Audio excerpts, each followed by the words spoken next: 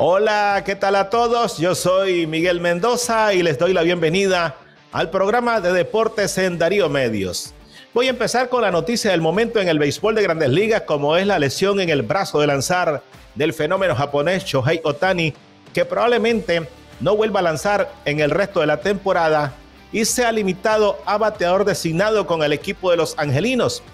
Otani, el mejor jugador del momento, el más espectacular de todos, la cara visible del béisbol actual, estaba programado para recibir después de esta temporada ya como agente libre el primer contrato superior a los 500 millones de dólares en la historia del béisbol de las grandes ligas, pero ese contrato podría no darse en vista de que está en dificultades. Él sufrió una rotura parcial del ligamento cruzado anterior del codo derecho y esto lo saca definitivamente del montículo y ahora se le verá como bateador. Es el primer jugador desde Baby Ruth, o sea, en más de 100 años, que lanza y batea como superestrella. Y sus números son espectaculares. Y los especialistas están diciendo que aunque no vuelva a jugar, él ya es el jugador más valioso de la liga americana. Pero el problema está con el contrato. Hay algunos dueños de equipos que han dicho que probablemente los 500 millones de dólares ya no lo va a alcanzar. En vista de que es probable que tenga una segunda operación tomillón. Ya le operaron de esta manera hace tres años. Una segunda lo ponen entredicho como lanzador de las grandes ligas y su eh, estabilidad en las grandes ligas sería solamente como bateador. Y por ahí hay un dilema, porque el fenómeno en el montículo y en el cajón de bateo era algo que de alguna manera lleva al público y lo convierte en alguien súper especial. Ahora, este es el problema que tiene. Va a tratar de tener una segunda opinión con los médicos antes de tomar una decisión que si se va a la operación o no. Lo cierto es que esto afecta enormemente las proyecciones que tenía para la agencia libre Chohei Otani, que algunos estaban calculando un contrato de 10 años y 500 millones de dólares. Vean las cifras que tenía Otani como bateador. Va a seguir desempeñándose como bateador, pero como designado. 44 honrones, líder en las grandes ligas. 91 carreras empujadas y 304 puntos. Eso es bateando. Y lanzando 10 victorias, 5 derrotas, 3.14 en efectividad y 167 ponches. Y lo más increíble es que batea y lanza y tiene estas cifras. O sea, es el pelotero del momento y ahora con esta dificultad ya se duda, ya se duda que vayan los equipos a atreverse a darle la plata que se estaba analizando, especulando o calculando que iba a recibir el fenómeno japonés Shohei Otani, que en estos momentos es el rostro del béisbol de las grandes ligas. Siempre en las mayores, aquí nomás, en la Florida, en Tampa, este fin de semana una serie muy llamativa para el béisbol. Los Yankees que son últimos con el equipo de Tampa que están peleando su clasificación a la postemporada, pero para nosotros los nicaragüenses es especial, porque ahí estarán viéndose las caras los dos únicos nicaragüenses en las grandes ligas. Erasmo Ramírez, que no ha tenido un buen desempeño con Tampa desde que subió otra vez a las grandes ligas, y Jonathan Loaiziga, que sí está espectacular, que no le hacen carreras, que tiene cinco trabajos de película pues ambos van a coincidir en el Estadio Tropicana Fields de Tampa para esta serie que empieza viernes y va a culminar el día domingo. Los Yankees están en la lona, están terribles. Solo llevan un triunfo en la última semana y media y por supuesto las posibilidades de ir a la postemporada son nulas. Éramos Ramírez tiene una efectividad de 6.55, en cambio Jonathan Siga la ha bajado hasta 0.93. Y en esa debacle de los Yankees, el Nica sobresale porque ha metido el brazo, está bien, ya totalmente recuperado y tiene un brillante comportamiento desde su arribo otra vez a las grandes ligas. Así que se van a ver las caras en el mismo estadio en esta serie de fin de semana.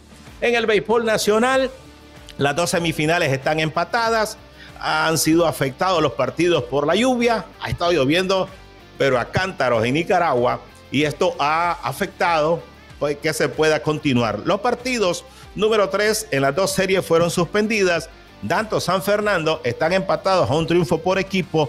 Granada y Estelí también tienen uno y uno. Esto es en el béisbol nacional. En el Pomares, que está en la recta final, y hemos visto cómo la gente está muy entusiasmada. Yo no soy quien para decirle a la gente no vayan, pues la gente se va a divertir viendo el béisbol y ahí podemos ver a eh, los peloteros más destacados de nuestro país en esta recta final del campeonato beisbolero nicaragüense. En el fútbol, los caciques del Diriangén terminaron su participación en la Copa Centroamericana. Después que nos animaron con un empate ante el Herediano, pues ya se desplomaron. En su último encuentro empataron sin goles con el equipo Real España de Honduras y de esta manera quedan eliminados. Solo pudieron alcanzar dos empates, dos puntos. El conjunto de los caciques del Diriangén fuera de esta competencia. El Estelí sí sigue todavía porque está clasificado para la siguiente fase como es la semifinal. En el fútbol internacional algunos detalles.